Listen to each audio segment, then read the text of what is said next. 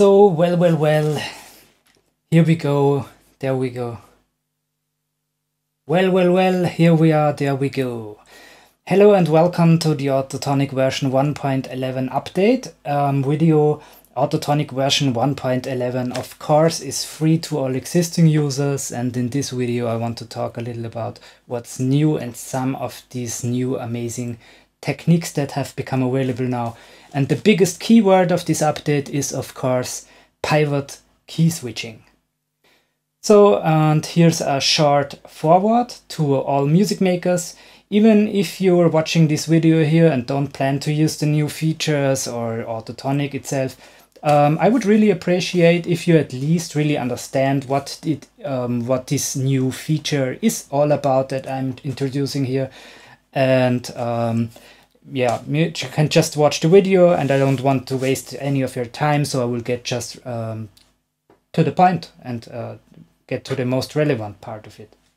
So what is it this kind of key switching pivot key switching that I'm introducing here? Um, for many of you, let's start there. For many of you, the term pivot chords um, won't be unknown. It's a sub-area of modulation that can be based on different pivots or uh, techniques or ways uh, of switching, for example, diatonically or enharmonically or chromatically or directly and so on. And however, there's always a matter um, of switching at a certain point in um, harmony and this certain key point or position is then uh, our pivot uh, reference point. So until now uh, in Autotonic we would have to use uh, the black keys for switching um, or changing modulation. So as it is with Autotonic we're playing on white keys only and we'll use the black keys as function toggles. Um, we would uh, have then had then to cho choose uh, or toggle a black key to uh, modulate. What this now what this new technique pivot key switching will allow us to do now is to assign a certain white keys or a pattern or a, a, a sequence of pet of white keys as our function toggles. We can also uh, call it shortcuts in this term in this um, at this point here. So think of them as shortcuts. You can assign your own shortcuts anywhere on the white keyboard layout to then um, toggle into another scale tonic um, pitch combination. So one of the most practical examples to demonstrate pivot key switching is probably by showing it um, through the melodic minor scale, which is differently played ascending than descending. So we play a different pattern ascending than descending. And when going to Autotonic here, then um, we can see, for example, this would be the pattern for the ascending and this would be the pattern for the descending melodic minor scale. So melodic minor descending is equals to the same as uh, Aeolian. And usually what we would have to do is to set up a first header and uh, select our melodic minor scale here and then the, for the uh, second header uh, select our down our descending pattern. So we then could um, choose our first header, play our ascending movement, and then when down, playing downwards, we would have to choose our uh, second header by toggling the black key to then be able to play the descending movement. Move. Movement. So this ascending, descending. So um, what the new pivot key switching, which is this button here, by the way, so you can enable or disable it here with this button. What it will allow us to do now is to um, define certain keys by using Alt, so the main function button for using a pivot um, pivot key switching, it must be on by the way, is using pressing down Alt and while pressing Alt, I can assign, for example, this key. So with the Alt key here pressed, while pressing Alt down, I can learn this key to be the toggle then for this um, header. And the same for this header.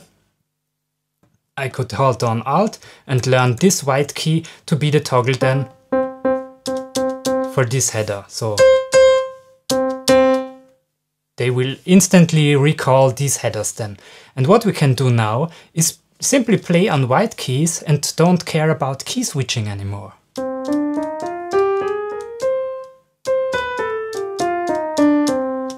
So this was quite a simple example. It goes much deeper here.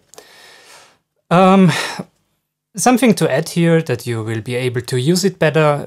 By the way, there's a shortcut here when holding down Alt on my keyboard. So I'm holding down Alt and then clicking this button here, then it will reset the whole um, patterns for each header. And you have to understand that each of these headers, so each of these uh, weirdly formed, uh, shaped objects here is called a header. So each of these header can have assigned a sort of um, pattern, pivot pattern to it. These, these shortcuts we're talking of here, the, the pivot key switching, pivot sets. So, um, for example, this header here um, has assigned this uh, pivot key, and this header can have assigned uh, this pivot key. So whenever I press this, it will be toggling this header, and pressing here will toggle this header. Um, so you can see each of these headers can have different patterns assigned. But as uh, pre mentioned previously, it's not only uh, single keys, you can assign even patterns or um, combinations or yeah, you, you see it like it's uh, a triad up here and a root node down here. So only when really pressing this sort of, is it here and there? Only when pressing now this certain combination, uh, which is quite widely spread here. So when pressing this combination, then this header will be toggled. So you can, if, if another header is selected and I'm, I'm pressing this certain combination, it will toggle this header. It won't toggle the header if I'm pressing only parts of the combination. It really has to match what I have assigned here as the pattern for the key switch.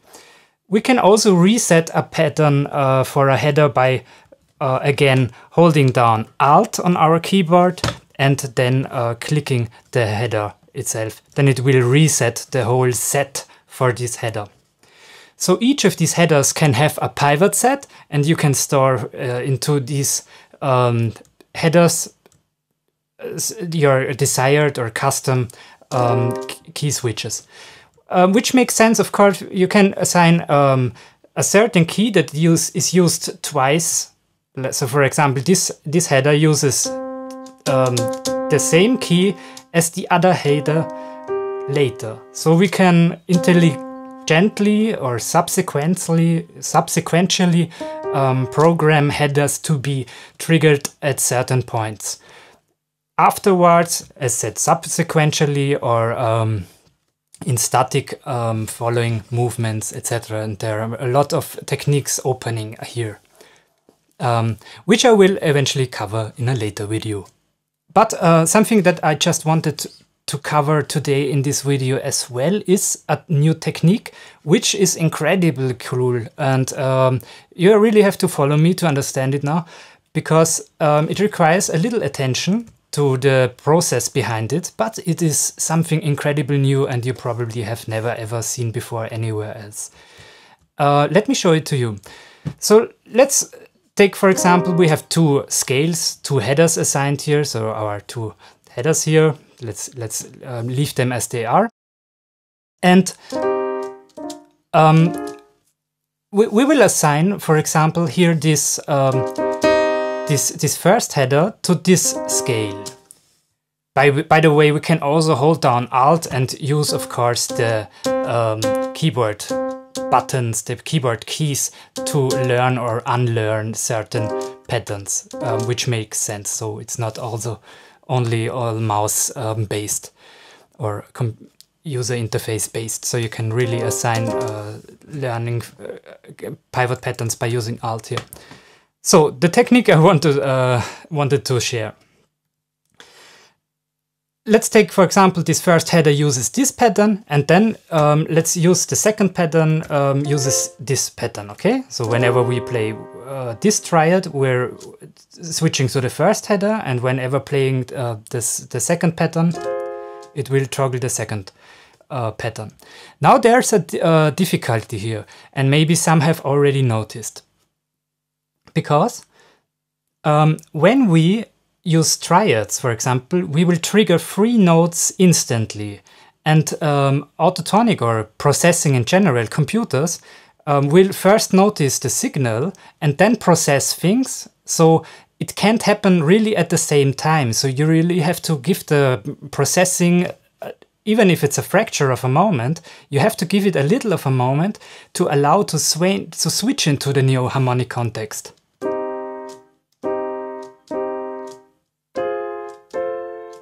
Understand? See the problem here? So the first, the first, the first toggled nodes here when actually um, the, the pattern is detected, so the first pressed uh, three notes are still in the old uh, scale.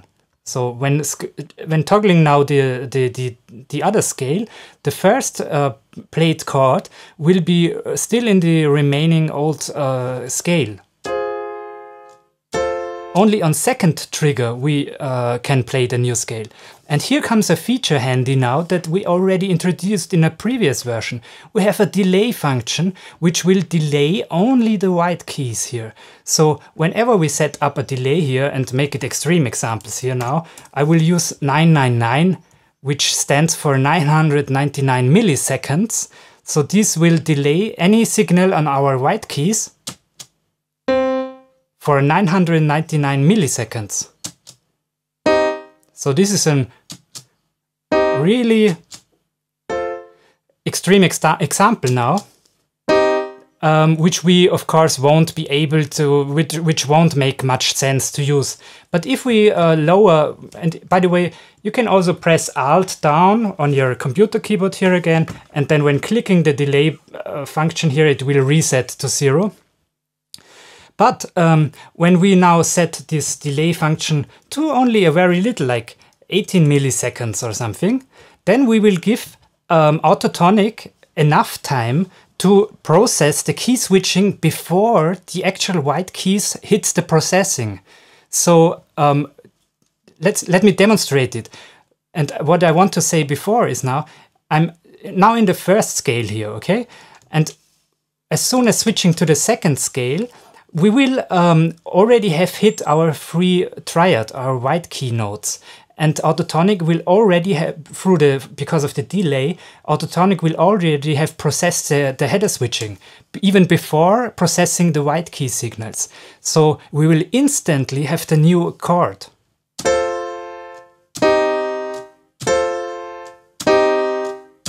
So this is incredible. You really have to think through it. You can instantly switch into another uh, harmonic context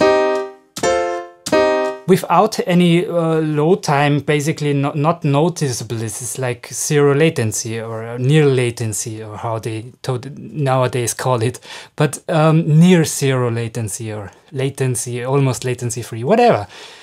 Uh, it's unisonically, uh, but it does not it does not feel it is there is a latency but you can instantly recall another scale by hitting a triad and uh, that way really